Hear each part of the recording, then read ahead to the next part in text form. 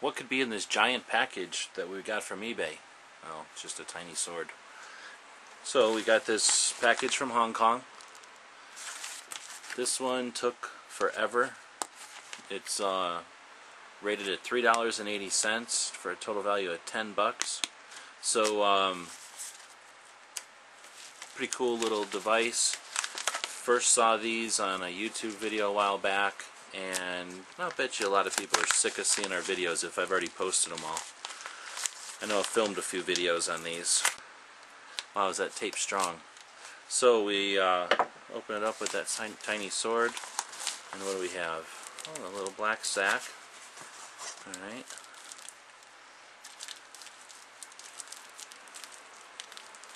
And inside the little sack, uh-oh, more of these damn magnetic BBs. Yep, magnetic BBs. So, uh, they give you four extra in this set, which is great because I've lost way more than four so far out of my other sets.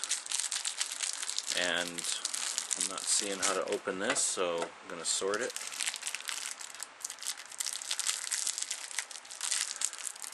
Turns out this sword is not very sharp at all. Who'd have thought?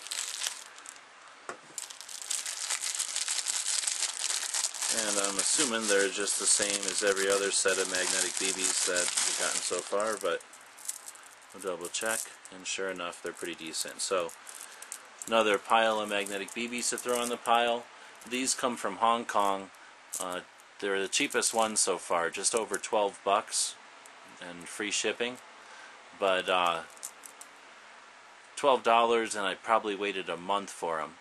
That other place I ordered from here in the U.S. were 13 or $14 and they got here in the same week I ordered them.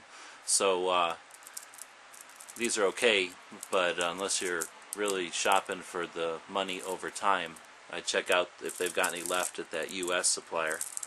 So anyway, real fun puzzle. And again, you either like these or you don't. I'm not going to get into them in this video, but uh, just the idea that shopping around, I ended up getting them from three different sources here in town for the most money, of course. Shopping around on eBay, found them, got them pretty quick, and then I bought these. These were actually the first ones I bought, and I'm, these are the last ones I'm receiving.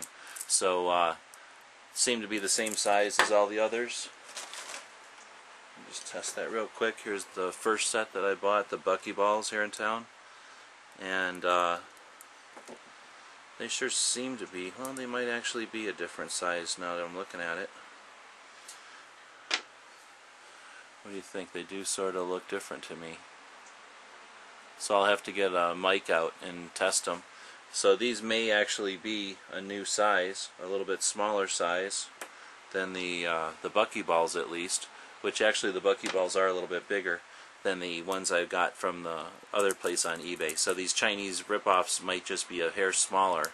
Not that it makes any difference. They still work with the bigger ones. So if you mix them all together, that's not the biggest thing. But it can be an issue if you're making something, I guess, fairly intricate or fairly, uh, um, you know, that need that would that would be affected by a slight change in size. So anyway, another set of magnetic uh, ball puzzle game toy thing. Fun.